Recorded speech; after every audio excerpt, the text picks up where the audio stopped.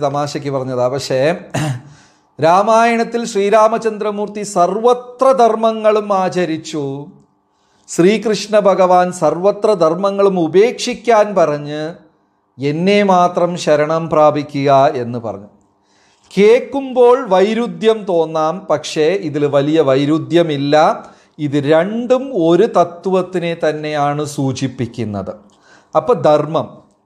ആ ധർമ്മം ആചരിച്ച് സമചിത്തനായി മനോഹരമായി രാജ്യം ഭരിച്ചു ശ്രീരാമചന്ദ്രമൂർത്തി. അതുകൊണ്ടാണ് രാമരാജ്യം എന്ന ഒരു പദം തന്നെ ഉത്ഭവിച്ചത്.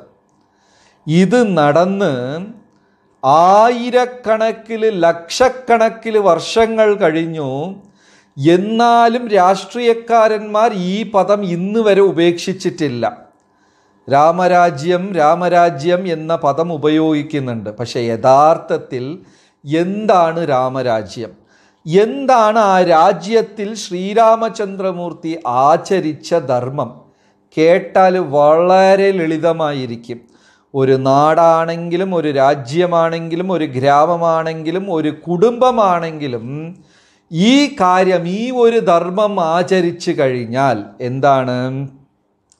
വൃദ്ധന്മാർ കുഞ്ഞുങ്ങൾ സ്ത്രീകൾ കന്നുകാലികൾ ഇവ നാലെയും സംരക്ഷിച്ച് ഈശ്വരനെ ശരണം പ്രാപിച്ചുള്ള ജീവിതം. ഇതാണ് ഒരു ധർമ്മം. ഈ ധർമ്മം ആചരിച്ചു കഴിഞ്ഞാൽ ആ വ്യക്തിയുടെ ജീവിതം സർവത്ര ഐശ്വര്യങ്ങളോടും അനുഗ്രഹത്തോടും വിജയകരമായി മാറുകയും ജീവിതത്തിന്റെ അവസാനം അദ്ദേഹം ഈശ്വരന്റെ ധാമത്തിൽ പോവുകയും ചെയ്യും.